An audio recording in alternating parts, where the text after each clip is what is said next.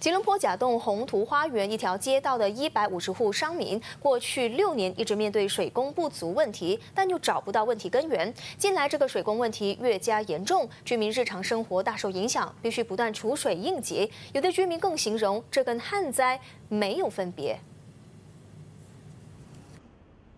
甲洞宏图花园其中一条街道的四层建筑物，六年来面对水工不稳、水压过低的问题，一百五十户商民深受其害。这个苦日子近来更是雪上加霜。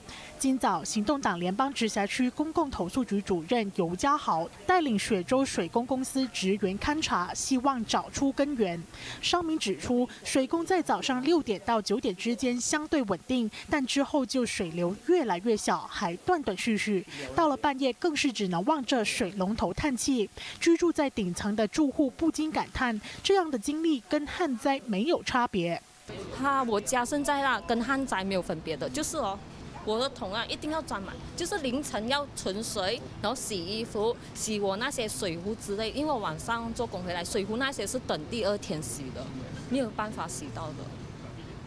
总之是 baby 最大困扰了，要洗奶瓶很很麻烦是吗？奶瓶、尿布、阿妈生冲凉也是很很糟糕对吗？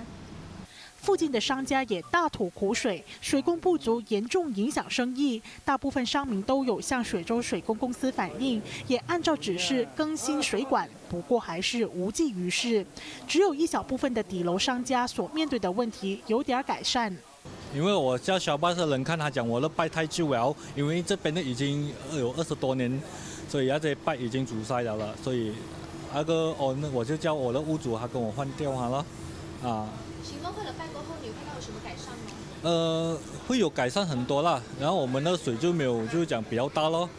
水州水工公司职员需要两个星期检查所有单位的水压，才能鉴定缘由。